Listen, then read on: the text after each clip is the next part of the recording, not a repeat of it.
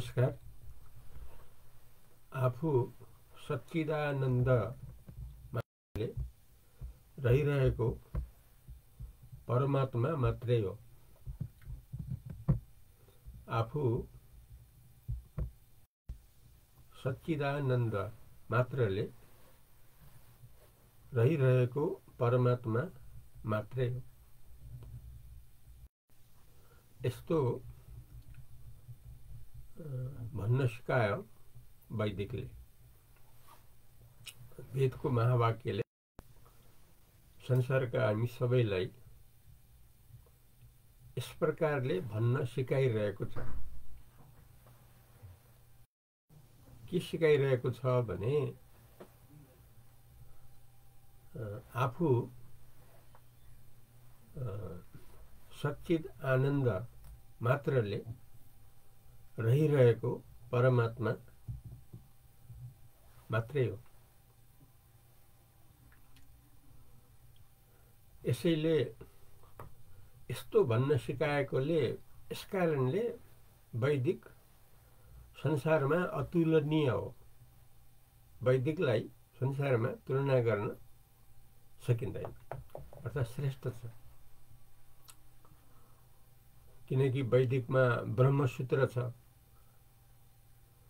वैदिकमा वेदान्त छ वैदिकमा उपनिषद छ वैदिकमा गीताहरू छन्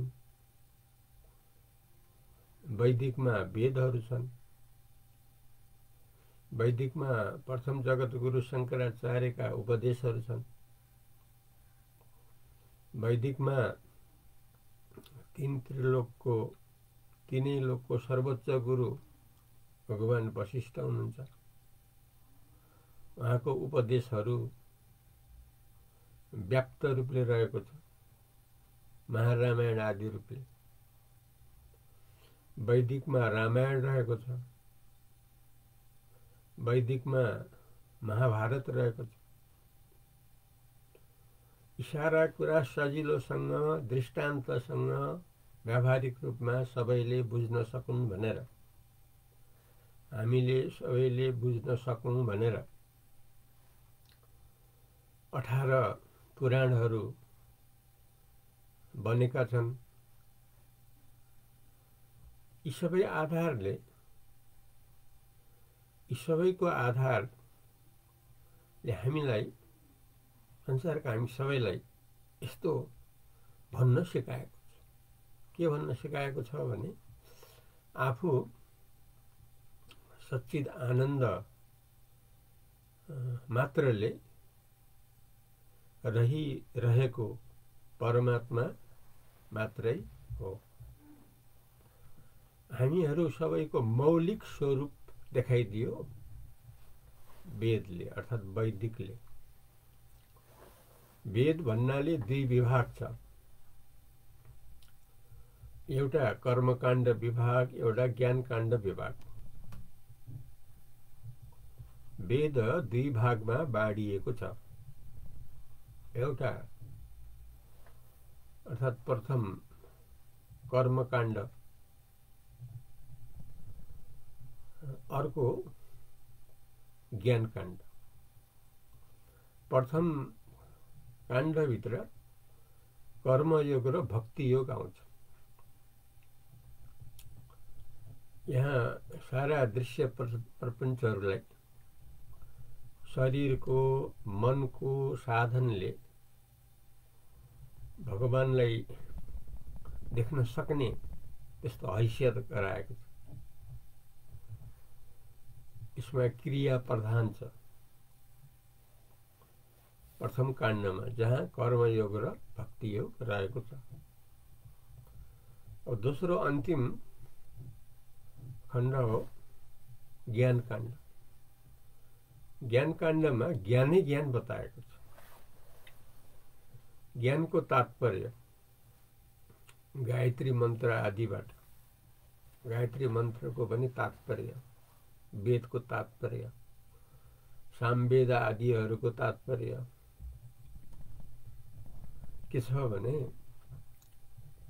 हामीहरूले भन्नै पर्ने हुन्छ कि आफू हो। सच्चिदानन्द मात्रले रहिरहेको परमात्मा मात्रै यस्तो हामी सबैले साक्षात् अनुभव गरेर रहिरहनु पर्ने हुन्छ यदि यसरी हामी रहिरहन्छौँ भने यो हाम्रो सदाकालीन मुक्ति तिथि हो हामी जीवन मुक्त रूपले रहिरहेको स्थिति हो। देह भए तापनि देह मुक्त रूपले रहिरहेको स्थिति हो। किनकि यहाँ जीवन र देहको प्रसङ्ग छैन। सदाकालीन मुक्तिमा जीवन र देहको प्रसङ्ग रहँदैन। सदाकालीन मुक्तिमा यदि जीवनको प्रसङ्ग देहको अर्थात् शरीरको प्रसङ्ग रहन्छ भने त्यो सदाकालीन मुक्ति हुँदैन। किनकि शरीर, संसार जो ये दृश्य प्रपंच हो वास्तव में जड हुन् सदा सत्य द्रष्टा हुन्छ सदा सत्य चैतन्य हुन्छ चैतन्य नै सदाकालीन हो। तर चैतन्यमा कल्पित जो दृश्य प्रपंच हो ती कल्पित भएको कारणले अल्पकालीन र मिथ्या हुन् थोरै अवधिका र यथार्थ नरहने हुन् जस्तो शरीर संसार प्रपञ्च। जब हामीले यथार्थ ज्ञान गर्छौँ त्यति बेला यो अनात्म प्रपञ्च दृश्य प्रपञ्च जड प्रपञ्च वास्तवमा रहँदैन। बाँकी रहन्छ केवल चैतन्य मात्र द्रष्टा मात्र साक्षी मात्र अधिष्ठान मात्र सनातन स्वरूप मात्र यसरी हामीहरूको स्थिति सदाकालीन मुक्त रूपले सच्चिदानन्द रूपले सच्चिदानन्द भनेको परमात्मा सच्चिदानन्द भनेको शिव। सच्चिदानन्द भनेको सधैँ सधैँ रहिरहे रहिरहने सत आफ्नै प्रकाशले सधैँ प्रकाशित भइरहने चित स्वभावैले आनन्दै आनन्द यस्तो जो हो सच्चिदानन्द यो परमात्मा हो। यो हामीहरूको यथार्थ स्वरूप हो। संसारका हामी सबैको यथार्थ स्वरूप हो। यदि हामी यस प्रकारले रहन्छौँ भने यो स्वाभाविक हो।